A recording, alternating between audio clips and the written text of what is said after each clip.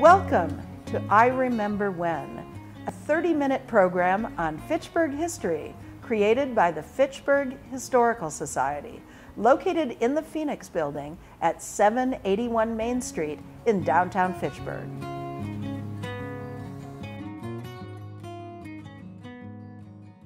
The Fitchburg Historical Society was founded in 1892 by James F.D. Garfield and some of his friends.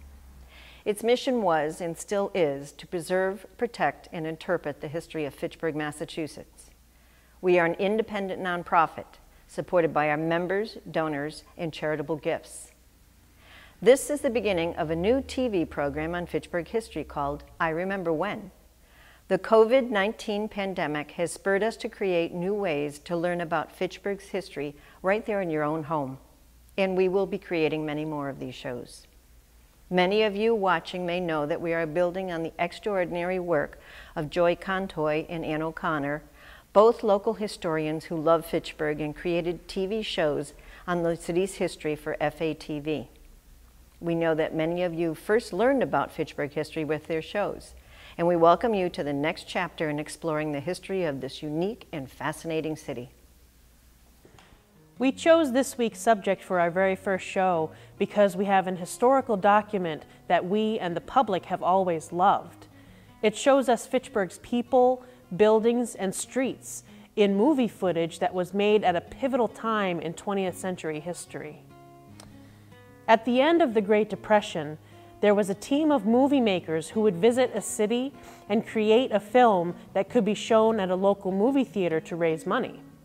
A community group like the Rotary or the Kiwanis would front some money for the filming, and then a movie would be shot, edited, and projected locally to help benefit local charities. The Fitchburg Historical Society owns the film that was shot in Fitchburg in November 1941.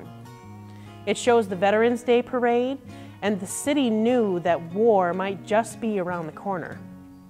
As a matter of fact, the attack on Pearl Harbor by the Japanese happened less than a month later, and President Roosevelt declared the entry of the United States into World War II. So if you remember that era, you may even recognize somebody in the footage we see today, or even see yourself. The original movie has been carefully preserved by the Historical Society. This year it was cleaned up and digitized thanks to Professor Charles Roberts and Fitchburg State University. Today we are showing just eight tantalizing minutes from this movie. Today's footage shows you the city's pride in its schools, its children, its churches, and its hopes for the future. The people who created this movie were encouraging community feeling by reminding Fitchburg citizens of the city's downtown industrial sector and urban fabric. We also couldn't help but notice how it celebrates Fitchburg's diversity, even in this short clip. From the beginning of the Industrial Revolution in the 1800s, Fitchburg was an industrial center. The factories clustered around the Nashua River, and residential neighborhoods sprung up around the factories. People walked from their homes to work. Often, factory workers came from a shared ethnic background, especially if they were importing skills from their original homes to a new home in America. They worked, worshiped, raised their children, and enjoyed recreation in neighborhood groups.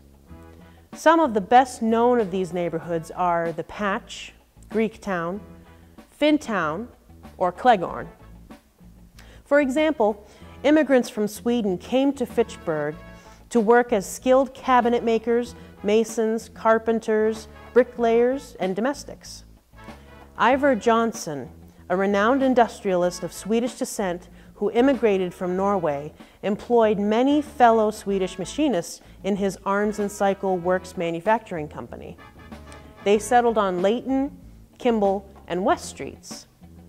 In 1892, a small group of 45 called Reverend Group as its pastor, and the congregation of the Swedish Evangelical Congregational Church was officially organized on February 1st. The Finns arrived in Fitchburg when Finland was suffering under repeated famines and political oppression by the Russian Empire. In Fitchburg, the men may have worked in the pulp mills or in the granite quarries on Rollstone Hill. The women were highly regarded as domestic employees. Very poor when they arrived and separated from others by their difficult language, the Finns settled close to each other near Mechanic and High Street. They were a literate population, but tended to retain the Finnish language for a few generations rather than switching to English.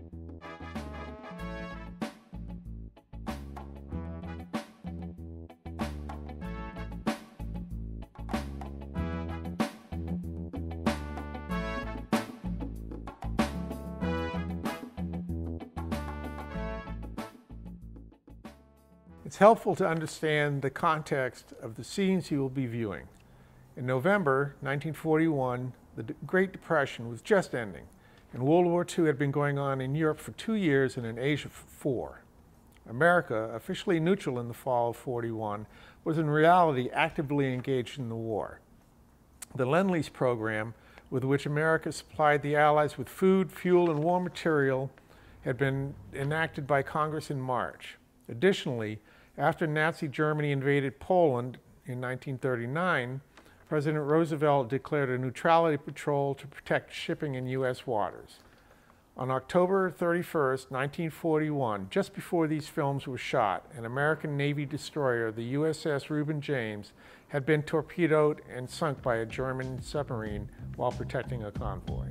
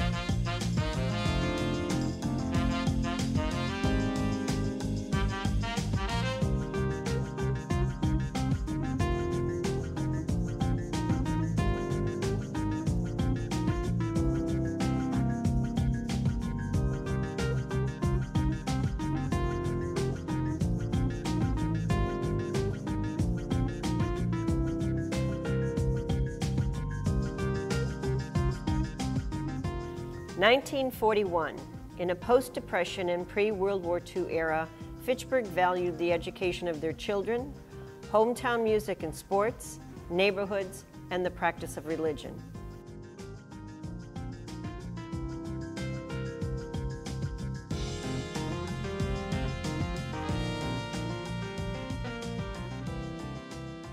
Because everything goes by so fast, I thought I'd describe a little bit of what you see in the uh, pictures filmed at the schools. What you see is uh, they're really emphasizing the vocational education. So we see the boys working on a printing press, and we also see the girls learning home economics. So you notice that it's quite gender segregated between boys and girls. Uh, there's also a science class shown and uh, a kind of new technology, which is the new medium of radio. They're showing uh, the kids broadcasting from station BFB, so that's from the B.F. Brown School, and they're actually broadcasting on the radio.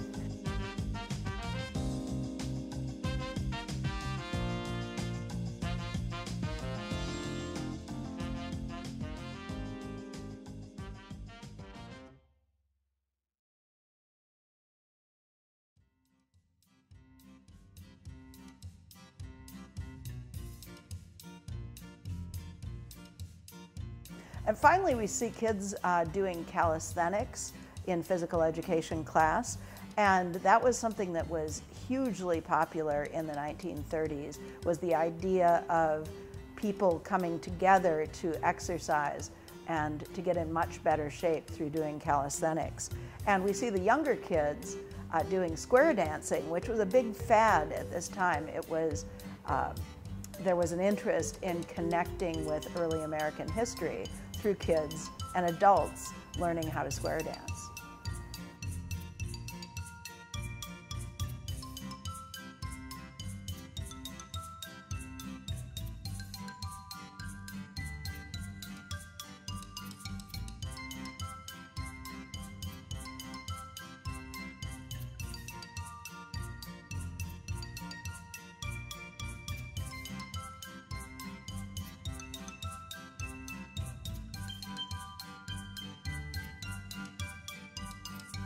Here's the Fitchburg High School Marching Band showing off their school colors.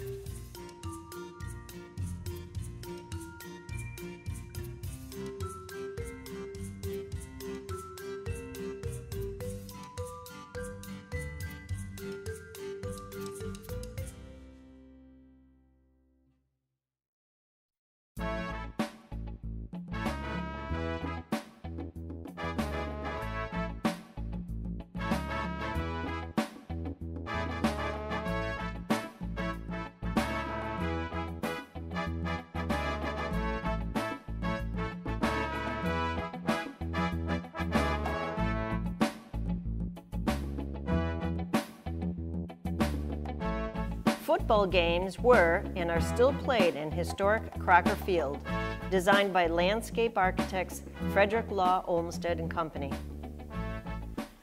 The traditional Thanksgiving rivalry game played between the Fitchburg and Leominster High School football teams is one of the oldest sports rivalries in the country.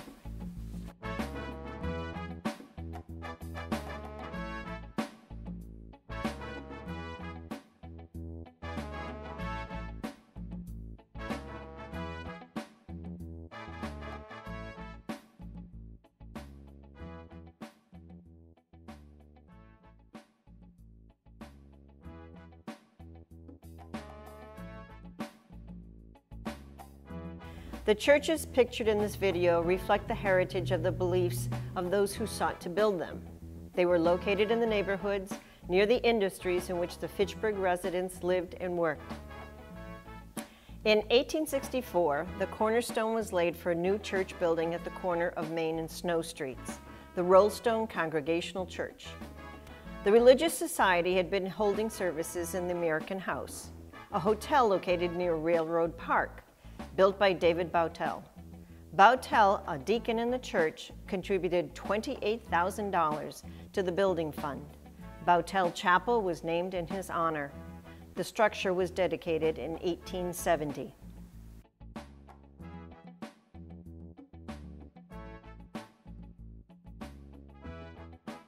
Also in 1864, the parishioners of Christ Episcopal Church voted to purchase a lot on Main Street for a church building.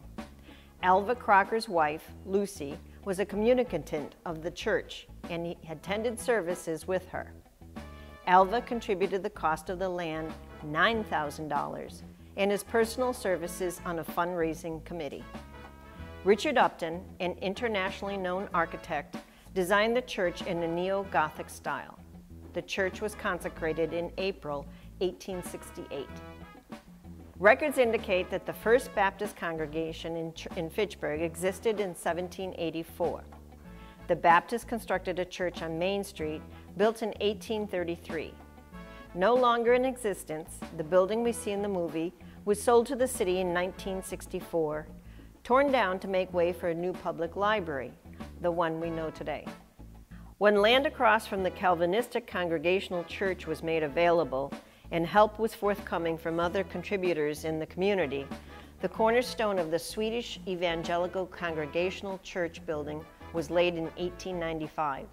Today, the former church is home to the New Players Theatre Guild. On September 29, 1895, the Finnish Evangelical Congregational Church was born with eight charter members under leadership of the Reverend Andrew Group. In 1902, Reverend Group purchased land on Elm Street and presented it to the small Finnish parish as a site for a church building. By sacrifice and strict economy, the parish managed to build a church. At 5 o'clock on Christmas morning, 1904, the congregation sang Joy to the World for the first time in its new building with Reverend Group as its permanent pastor. The Calvinist Congregational Church dates back to the very earliest years of the 1800s. The building we see here in 1941 has been expanded with an addition and facade by Fitchburg's most important architect, H. M. Francis. Today, the building is owned by Casa de Gracia y Restauración, a Hispanic bilingual congregation. In 1903, St. Francis of Assisi Parish Church was created to serve this vicinity. Louis Langlois, appointed the first pastor, proceeded at once to build a structure to serve both as a school and a chapel.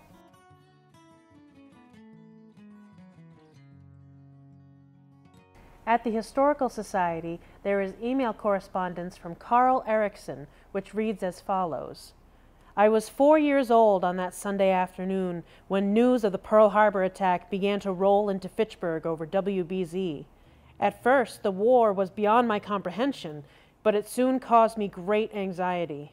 My mother was an avid movie fan and took me along to matinees at the Cummings Theater on Blossom Street nearly every week. The Movietone news and the March of Time carried vivid pictures of the war in Europe and in the Pacific, and the images of soldiers swathed in bloody bandages, as well as the thunder of artillery, sent me screaming into the theater's lobby. For several years, I was too freaked out to even watch Bambi or Snow White. Now, with the Fitchburg economy, what was happening during that time, transitioning from the Great Depression into World War II? Well, Fitchburg was uh, had always been a large manufacturing city. Uh, textiles, clothing, uh, steel, uh, that sort of thing. Uh, but we were also uh, getting more. There was a lot more retail involvement at the time. Now, once the war began, then the everything shifted to a war economy. And so, for instance, Simonds Saw and Steel uh, was manufacturing armor for tanks, and uh, there were little little companies uh, all around that were building small things that you know just kind of like almost like a cottage industry, uh, war materials and I can't think of any offhand. I'd have to look that up. But uh, uh, and actually, Simonds was uh, they, they used to give a uh, an award every year for companies that that produced uh, very uh, you know high quality materials and, and and you know they they met all their manufacturing goals and whatever and Simonds was one of, I think, maybe a dozen in the country that managed to get five of these star awards uh, for, for their manufacturing prowess.